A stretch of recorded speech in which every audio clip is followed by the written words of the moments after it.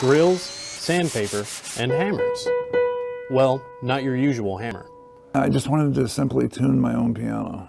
For the last 45 years, Ridgely Fisher has worked on pianos, from simple tunings to completely refurbishing over 100-year-old instruments. But his path started on a different key. It was uh, three years of pulling my hair out. As a software designer, Ridgely worked on what we know today as voice recognition. Sometimes I was in there a cubicle for 16 hours. After days like that, however, Ridgely found something else to occupy his time.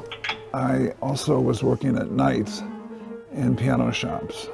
After finishing his work on the voice recognition software, he knew one thing for sure. I couldn't sit in a cubicle for another hour. So Ridgely got back into something he enjoys more. Taking a piano that's that's broken down and just has lost everything and turning it into a magnificent concert instrument again.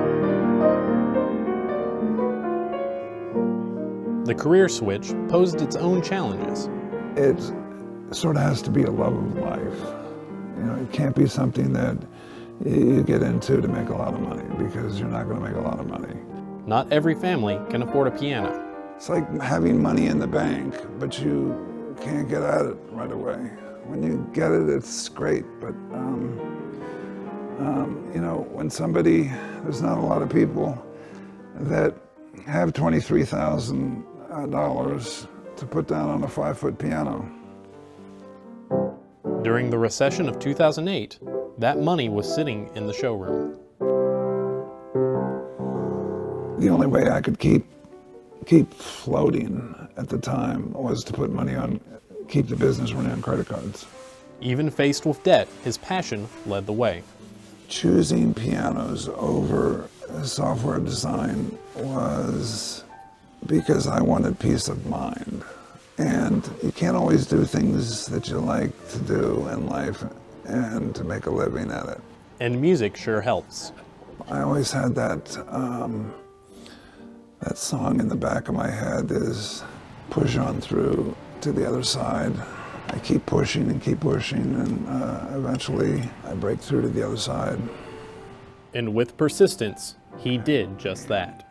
I've paid off all my credit cards. I owe nobody any money. Now, after 45 years, Ridgely's ready to change tempo. Uh, When I decided to retire at 65 is when everything got busy. I'm busier than I have been in 30 years, I think. He just turned 65, so retirement may be a few more years away, but he's got a few ideas in mind. I look forward to slowing everything down and I would like to kind of relax and maybe do four or five Steinways a year. Crofton, Maryland, Matt Hester.